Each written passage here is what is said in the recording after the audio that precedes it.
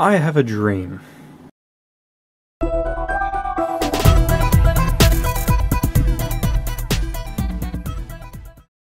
Actually, it's less of a dream and more of a stupid, misguided idea that probably isn't going to work.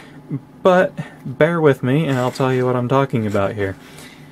So I've got this laptop motherboard that one of my friends um, was chucking out because they um, upgraded the one in their uh, laptop to one with um, or, um, NVIDIA graphics, like a separate NVIDIA video card out of an old Dell laptop. And I thought, you know, this thing still works.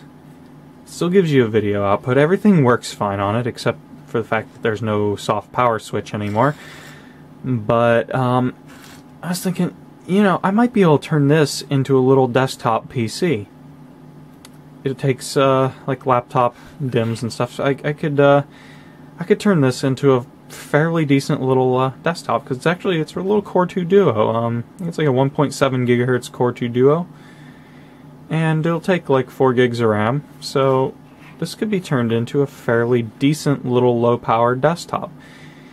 And I was I was thinking, you know, maybe if I put a um, cooler with enough thermal mass on here, I might actually not even need a fan in this. If I just get good ventilation throughout the case, I might be able to run this thing entirely passively.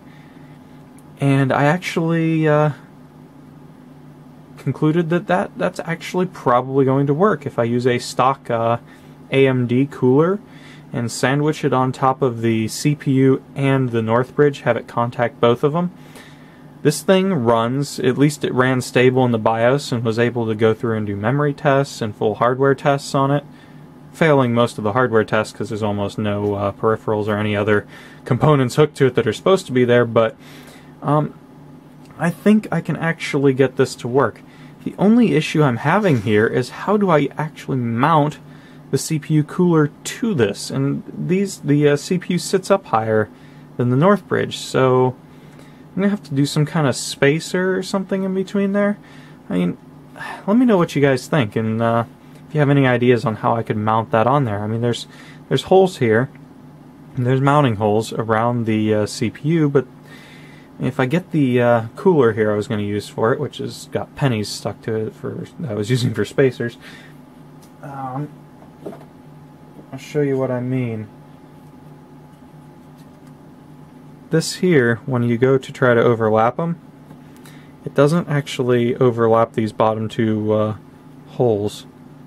But if I could, this will just kind of sit down on like that.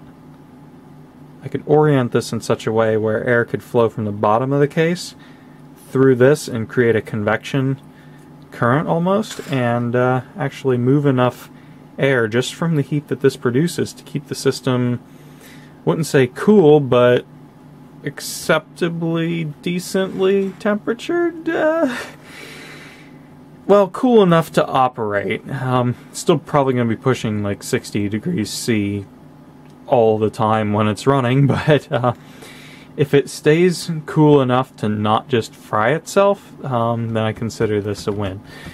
So, let me know if you guys think this is a good idea or not. Um, I'm thinking I'm still going to do it anyway, and if it fries it, it fries it. It's not the biggest deal because this board is not really worth anything, and it was going to get thrown out anyway. So I think it's worth a shot.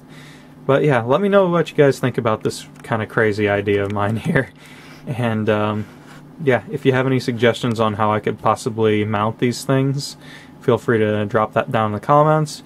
And uh, yeah, hopefully there will be a video of this thing completed at some point running. And um, you can take a look at it then. Alright, you guys have a good one.